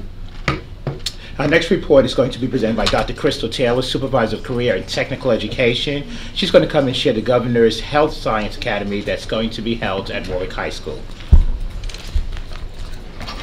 Good evening. Good evening. It's my pleasure to present to you tonight the proposal to establish the Newport News and York County Public Schools Health Science Academy, a proposal that was submitted and approved as part of the Virginia Department of Education's vision to initiate the Governor's Health Sciences Academy.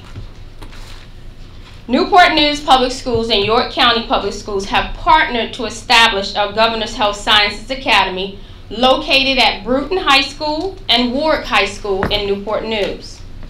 This academy will offer a program that combines academic coursework and clinical experiences in a challenging and collaborative school environment to prepare students for careers in health sciences.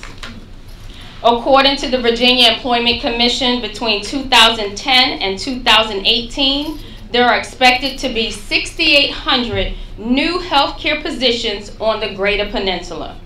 When combined with the openings due to attrition through retirement, there are expected to be approximately 10,000 healthcare occupation opportunities on the Greater Peninsula. Newport News and York County schools have a unique position to satisfy this identified need. It is the vision of the Governor's Health Sciences Academy to improve the knowledge and skills students will need to succeed in health sciences careers by learning how to work in teams, communicating effectively, and applying the principles of math and science to solve real world problems in the healthcare field. We will strive to produce quality workers for the healthcare industry and attract students to post-secondary opportunities in the health sciences career cluster. The Governor's Health Sciences Academy will launch two career pathways in their first year, which will begin this fall 2013. The Therapeutic Services Pathway will have an opportunity for students to prepare for careers such as a certified nursing assistant, nurse practitioner, physician, or surgical technician. The support services pathway will allow opportunities for students to explore careers in biomedical technician, clinical technician, facilities manager, and environmental services manager. During the 2014-2015 school year, the Diagnostic Services Career Pathway will be added to the Governor's Health Sciences Academy. This pathway will provide opportunities for students to explore courses with a strong emphasis in nursing assistant and prepare them as a lab technician, biochemist, or microbiologist. During the 2015 school year, the Academy will expand to include the health informatics and biotechnology research and development career pathways. The health informatics pathway will include opportunities for students to experience that of a medical assistant or medical biller. The biotechnology research and development career pathway will concentrate on coursework that will build a biotechnology foundation and knowledge of biomedical technician. All students at Warwick High School interested in participating in the Governor's Health Sciences Academy will be required to complete a Governor's Health Sciences Academy application where students who are selected for this program will sign a, a program completion that will identify areas that students will need to complete. For example, they will need to complete an advanced mathematics course beyond Algebra 2. They will also be required to complete 200 hours of school community service. Dual enrollment is also a very vital part of the Health Sciences Academy. Students in the Academy will have the opportunity to earn college credit and the following courses listed. Work-based learning experiences are available in each Governor's Health Sciences Academy career pathway. Students will have the opportunity to experience firsthand how classroom instruction connects to healthcare industry. Experiences include, but are not limited to, job shadowing, leadership institutes, student showcases, and summer health sciences opportunities. Currently, students from both Warwick High School and Bruton High School are participating in Medical Explorers Post, a partnership with Riverside School of Health Careers and Sentara. These students have the opportunity to explore various careers through hands-on interactions, and they are also experiencing working one-on-one with healthcare providers currently in the field. The Governor's Health Science Academy has formed strategic partnerships with local businesses, institutions of higher education, and workforce development agencies to ensure that our students are prepared to meet the future workforce demands for health sciences in our city and region. Newport News Public Schools, in partnership with the York County School Division, New Horizons Regional Technical Center, Riverside School of Health Careers, Thomas Nelson Community College, Community Health Charities, Hampton University, and Old Dominion has developed the Governor's Health Sciences Academy partnership to enhance the mission of ensuring that its students are equipped with the skills they need to be globally competitive in the 21st century while focusing on careers in high demand health sciences careers. It is our mission in Newport News Public Schools to ensure that all students graduate college, career, and citizen ready.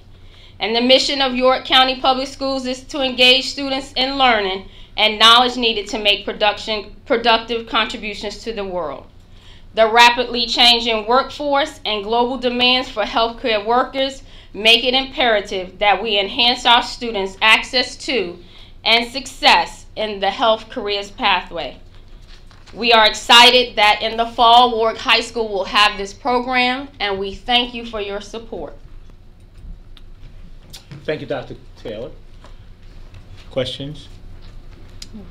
Okay, Ms. Johnston? Um, I didn't see any science requirements in there. I saw that you had a math requirement, but I didn't see any, or did I just totally miss You, that? it was in there.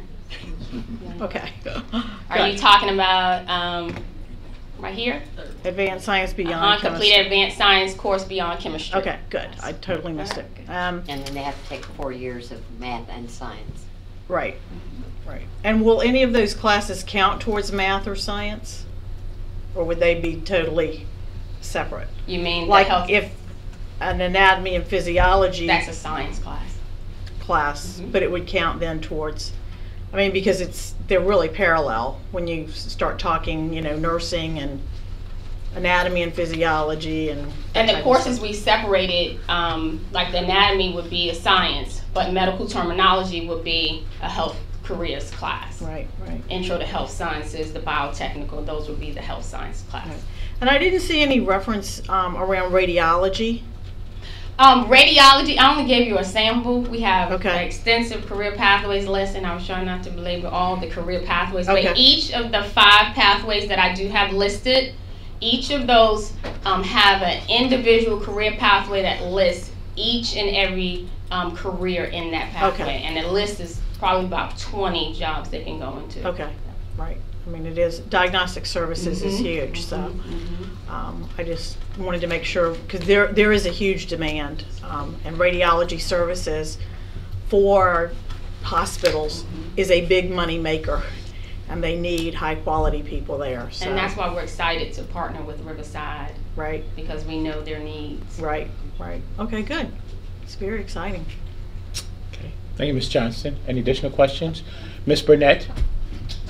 All right, number one, uh, once they, what grade do they actually enter into the academy? We starting at ninth grade. In the ninth grade. And do we know how many students that we will be able to start in the program? I mean, I know they gotta take all the tests. Mhm. How many students, let's say we were able to max out, how many could we handle? We thank um, the partnership with the Warwick High School principal, Dr. Roy Stapleton, who's here with me tonight, and also Miss Patty Cheney, who will serve as the co-director for the Health Science Academy. They told me this evening, so far I have 70 students in the program. We told the state that we would have 100 students each year. Okay. And we still have not finished registering students for the ninth graders that are coming in. So we still have to place them as well. So, So we're, we're looking, looking at at a hundred each year. Okay, a hundred is our, what That's should- our. mhm. Okay. So we're 70 looking. ninth graders? No, that is a mixture. Okay. That is a mixture. And once they complete the academy, let's say they stay in ninth and they go all the way through 12th, what do they receive? They receive a governor's seal on their diploma.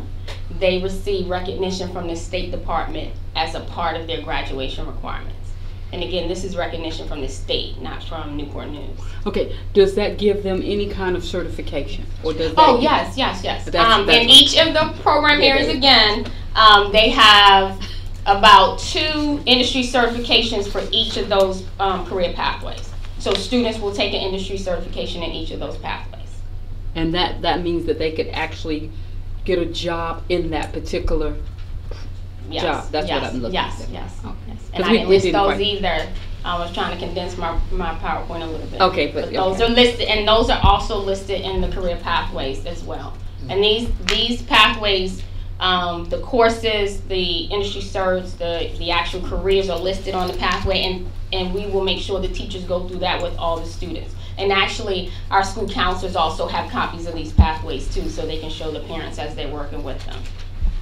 And my last question, I know that a, a lot of times we require for college students to have foreign language. Mhm. I didn't see in this particular presentation anything that dealt with a foreign language and, and being in the career field and having such a diverse mm-hmm. group of people that we deal with in, in our society, I thought that having foreign language as a part of that curriculum would be a, cr- a, a a piece that would be very helpful. And I think we, we um, purposely did not include it in this actual PowerPoint because we know that it's a part of graduation requirement for advanced studies diploma. Um, many of the requirements we have up here are part of the advanced studies diploma, so they're going to get that Spanish anyway. I think we, um, at the state level, we talked to them about the courses that we want to put as part of our agreement. And it was, it was really emphasized that we had to look at math and science and because many of these requirements are to the advanced standard, the advanced diploma, this the language is going to be in there as a given. Um, but in this particular agreement, we had to strengthen and show the math science part to it. But that's not saying they're not going to take that language. Yeah, I just I just think that that fluency in in one in, in a language is is going to be a, a critical piece of this part as far as if we're going to have them go on a job after they finish this out of high school that they have some kind of language. fluency and in they will. That, like I said, they will because many of these requirements are part of the standard diploma. Um, because that that was another question: Should we make them take Latin because medical terminology is very difficult? And that was an easier way for them to kind of learn that. So yeah, we had those conversations as well. Okay. I'm, I'm good. Mrs. Dodger. I'd just like to pass on to um, Dr. Taylor, as well as everybody who touched this and was involved in it. Um, I had a, a sideline chat with um, a member of the Virginia Board of Education, Joan Wodiska, who saw this application, and she said it was outstanding. Um, and she was so excited to see that it was well put together with you know the kind of partners that would make it succeed, pulling Riverside in, other partners. Um, so, you know, I think it's rare that you get that kind of compliment out of um, the Board of Education. Thank you. Um, and I think you need to take it home and realize you did you did a good job with this, and you brought home something that's going to make a difference for us. Thank you, thank you. I think so. Yes, Ms. Johnston. So the only admission requirement is completing the application and saying, I want to do this. There's no prerequisites that say you're accepted to it. I mean, how are we selecting students to be a part of this? I mean, I see complete, you can't have, complete. if you're starting in ninth grade, you're not going to have completed something beyond chemistry. Mm-hmm. So I'm an entering freshman. What are the requirements as an entering freshman? The requirement is that, yes, you do show your interest, you do apply, and then we are taking the career pathway plan that I'm talking to you about, and we're putting that to the students' courses. Now, the question that you're asking is, do they have to have a 2.5 to get in? They have to have a 2.7 to stay in. So we didn't put that on the front end, we kind of put it on the back end. Right. Because we wanted access to everyone. We wanted, and, and with those five career pathways, we wanted to make sure that we included everyone, from the mel- medical biller to the physician. So we didn't want to put it on the front end, so we did actually put it on the back end. Okay. And is this open to students across our school division, or is it just open to Warwick High School students? It's open just to Warwick High School students. As we grow, we, we know we will, then we will come back with that conversation. But in the beginning, we are starting at Warwick. And so hopefully we will grow. We know we will grow. Mm-hmm. And then we will come back with that conversation. If you don't meet your quota of 100 mm-hmm. students. I will be, we will, we, Dr. Stapleton. You got that. She, I, She said she got that. Okay. As Dr. Taylor says, she's going to be optimistic. I am optimistic. And I like the terminology, it will happen. It will happen. Okay, so which is really very, very good. But this sounds like an excellent, excellent program for our, our uh, students. And I think one of the great things in which I kind of highlighted in the situation is just a practicum-based experience that's going to have students involved and engaged and excited about learning and then moving them to the next step. Really, really a wonderful, wonderful program. So again, hats off to you and to the program and to all the committee members that participate in it. Really sounds like a wonderful opportunity for our young people. Well, That we're meeting their needs. So thank you so very much. Thank you. Thank you, Dr. you. Taylor.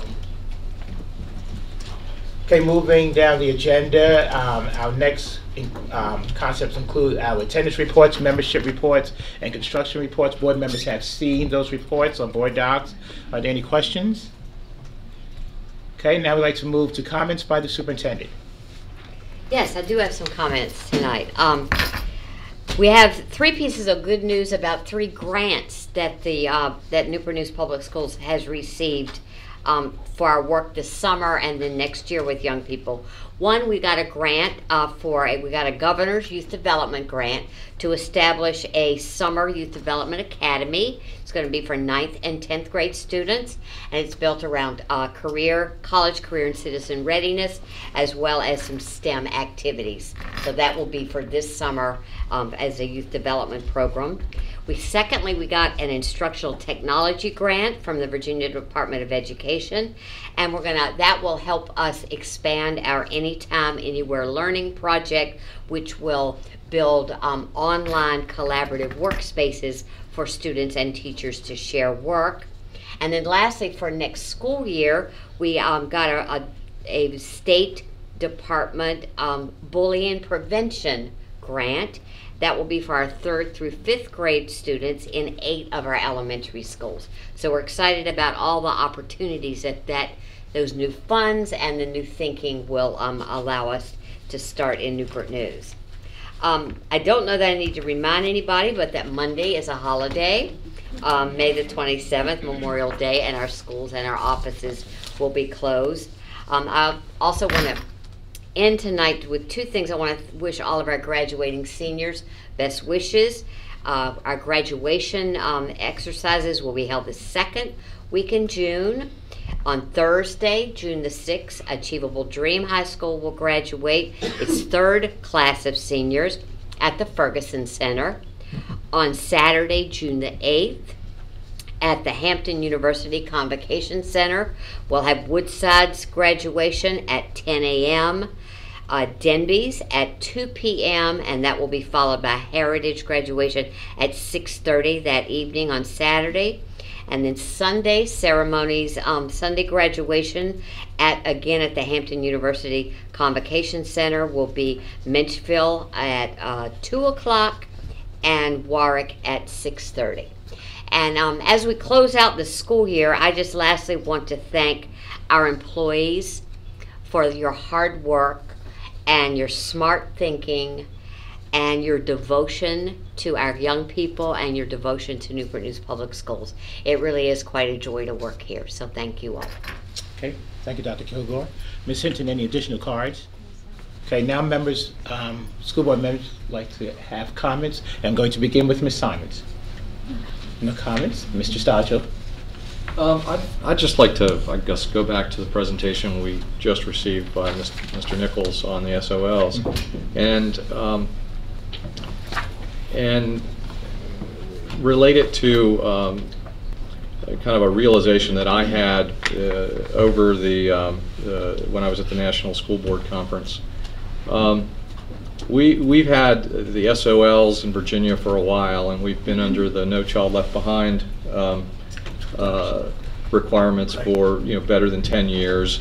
And uh, but here we are at a, I think we I certainly have realized, and I think the world has figured out that the SOLs are not the gateway to success for um, uh, for all of our kids. You wouldn't be satisfied with with um, training folks just to pass the SOL. Yet we have a continual dialogue and we have a continual um, challenge to try to, to meet those minimum scores every year.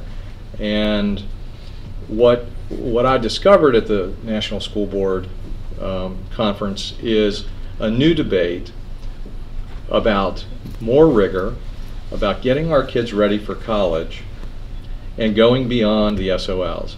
And and I was struck in many sessions to see school board members from around the country stand up and and, and reject that, um, reject the call for for more rigor.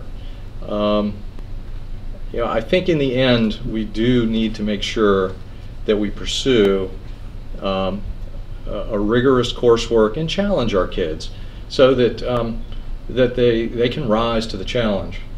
The problem with it is we've all gotten used to a debate about you know are we going to pass the minimums. This new set of rigorous standards, which is being brought on, is going to force us to have the courage and the stomach to to realize that we're challenging this system. We're challenging our kids we're challenging our teachers, we're challenging the administration, challenging the school board, and the community to acknowledge we want our kids to become ready for college. Um, we're going to have to have the stomach for it. We're going to have to be willing to, to see that we're not going to reach it in the first attempt. Just like last year, you know, our math scores, not where we wanted them to be, not where the state wanted them to be. But I think we really do want our kids to be able to solve that tough math problem. And by lowering standards or by failing to raise standards, we're not doing our kids any service. So I just I just want to challenge everybody. Let's have the let's have the courage. Let's have the stomach. We still got work to do, and um, let's don't shrink from it. Um, and let's try to get all of our kids to get there. Okay. Thank you, Mr. Stodghill. Ms. Johnston? No further comments? Mr. Hicks? No comments today, Mr. Ashby. Good. Ms. Burnett? I would just like to say thank you, Dr. Kilgore. Uh, we had all the promotions was from within the city of Newport News Public Schools. This um, promotion, yes, I did notice. Um, and because we do have such wonderful staff, teachers, and, and members here, that we do need to bring the people within our organization up to the staff. They know our students. They know what needs to occur. So I do appreciate you and the staff for selecting those members of our staff to move our city and our schools to the next level. So I, I really wanted to thank you um, for, for doing that and, and bringing it forward. So why I was so anxious to vote for yes tonight. So for all the, the staff, the teachers, administrators here in Newport News, you do have the opportunity to move up. Do your job, do a great job, be innovative, creative, and we will move you to the next level. So thank you. Okay, thank you, Ms. Burnett. Mr. Scott? Yes, I'd like to thank all Newport News employees uh, for their support, whether it's personal or work-related. Um, Just want to thank them for this current school year. Also, I want to remind the parents, uh, it's the end of the school year, you need to have all your um, contact information up to date uh, for us if you're going to have any changes in the addresses or phone numbers, email addresses. Please update that at the end of the school year, make sure it'll be good, so there'll be no mishaps for the next school year. And uh, also like to thank uh, Nancy on her presentation um, for just trying to have uh, all stakeholders involved, going out asking everyone questions so they can, you can have that feedback. That's the best way to go about things, to, to find out everyone, even though that's not necessarily how you may base your decision, but at the same time, it's good to ask everyone who's who's going to be involved. So, thank you. Okay, thank you, Mr. Scott. And in closing, I just simply would kind of like to echo a couple of things which I've heard previous board members say. Um, I think one of the first things, thank you for the reports this evening, and um, we want to make the connectivity of the reports were really all about our children. And it's just so unique and so nice that Newport News Public Schools is very child-centered because when you kind of look at it through the entire Newport News family, we are here to serve and meet the needs of our children. So we thank you so very, very much for that. Also like to um, um, acknowledge, um, recently been to several banquets in reference to Teacher of the Year and the retirees and service awards and, and all those type of things. But we just really thank everybody for their commitment. Um, and particularly at the Teacher of the Year banquet, because one of the things that happened there is the teachers that were recognized, every teacher, when, when statements were read about the teacher, they were always talking about children. And that was really great, great to hear. They would talk about things about doing for children and purpose and service and commitment. You know, that was the common denominator, and those are the things that make our school system, but more importantly, make children to be very, very successful. And in closing, I just simply say it's been a wonderful, wonderful year. Um, the board thanks every single person because we a lot of times we think of a school system and we think about teachers. But we have to think really eclectically. We have to think about teachers and teacher assistants and bus drivers and administrative staff and the custodial staff and landscapers and all those people that make a huge difference and impact for the success of our children. So we thank each and every single one of the members of our Newport News family. We thank you for their caring, their commitment, their belief, and them understanding their purpose of why they um, not so much really work in Newport News, but uplift Newport News and uplift the students. So we thank you so very, very much. If there's no other items, no other discussions, this meeting is adjourned at this time. Thank you.